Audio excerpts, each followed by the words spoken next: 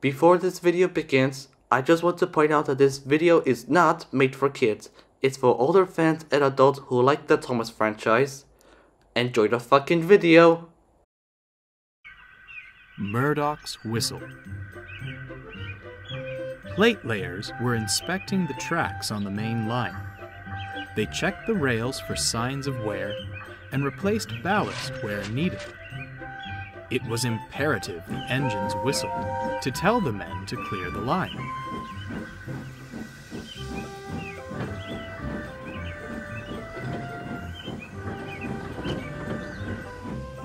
One morning, Gordon arrived at Edward's station, looking rather annoyed. Problem, Gordon? asked Boko. There is something to be said, Gordon replied, for quiet engines like you, Boko. I understand we must whistle for the plate layers, but some of it is most excessive. It isn't wrong, of course, but Gordon's speech was interrupted by a booming whistle in the distance.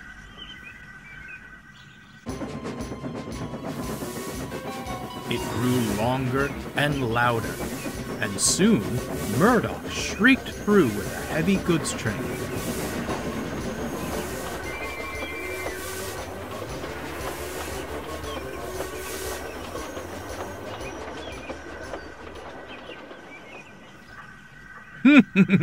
I rest my case, Gordon harumphed. Later, Boko found Murdoch resting in the sheds. If you've come to complain about my whistle, snapped Murdoch, I've heard quite enough from Gordon already. I'm not complaining. I'm concerned, Boko interjected. I've never heard you make such a racket. This blasted new driver seems to think my whistle's a toy. Blows at any chance he gets. Too long and much too loud. Murdoch shuddered. I tell him to stop, but he only laughs. Mm, I quite understand, murmured Boko. In my experience, new drivers tend to learn their lesson rather quickly. It can't happen quickly enough, sighed Murdoch. The plate layers had nearly reached Maron Station.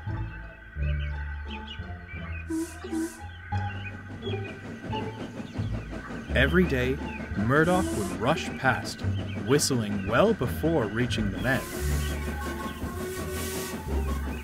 And long after, too.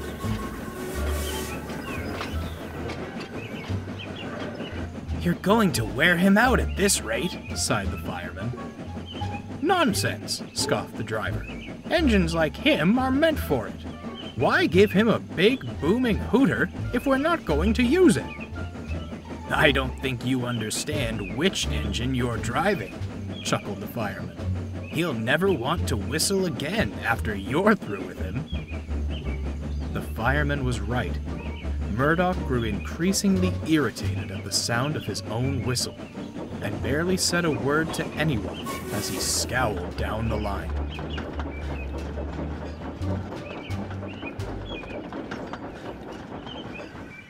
Boko tried to comfort him, but the other engines weren't as sympathetic.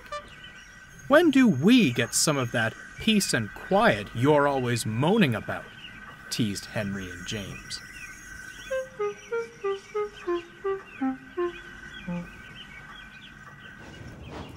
One morning, mist shrouded the island, and a light rain made the rails damp.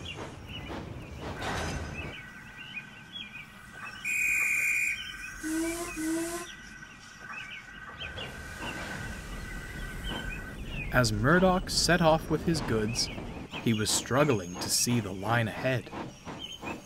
All too often, his focus was broken by his own whistle.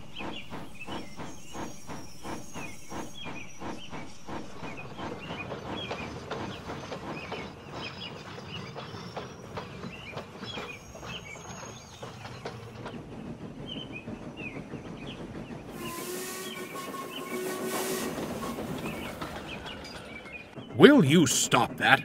he barked at the driver. This journey will be hard enough without you making that racket. Have to let people know we're coming, especially in this mist, don't we? The driver replied with a smirk. They soon approached Edward's station. Murdoch knew what came next Gordon's Hill and a hard climb. Boko was nearby and tried to hoot a friendly hello. Of course, it was swallowed by the sound of Murdoch's own whistle.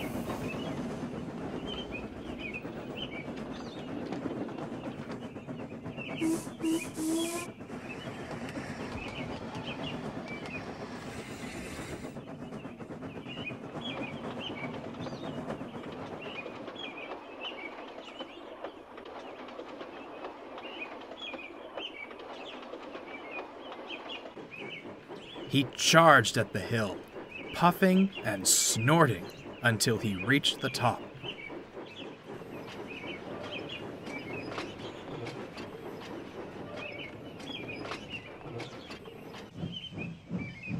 Murdoch braced himself for what would come next. But there was no whistle. I'm glad you're seeing sense, sighed Murdoch. But this is one time we have to whistle. I, I can't, cried the driver. Something's jammed. Murdoch went pale. The plate layers were just down the line. The driver pulled the whistle chain with all his might, but still, no sound came.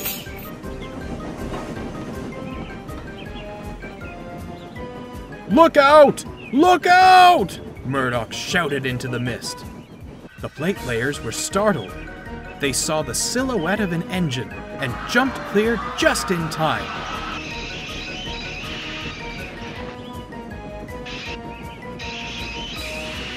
With brakes screeching, Murdoch flew past.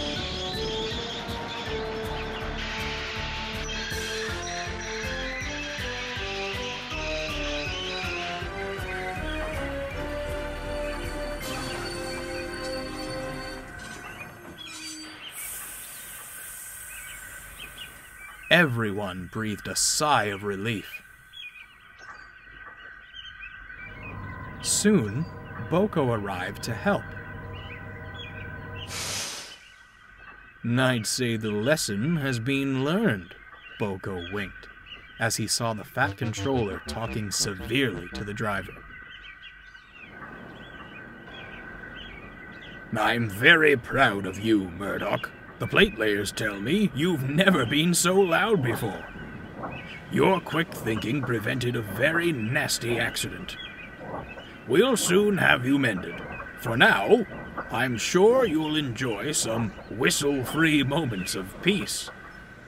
Thank you, sir, chuckled Murdoch. Sure enough, Murdoch was soon back on the main line. His whistle was working better than ever and saw far less usage than before. The driver had taken a temporary leave from the footplate. He volunteered to assist the plate layers with repairing the line.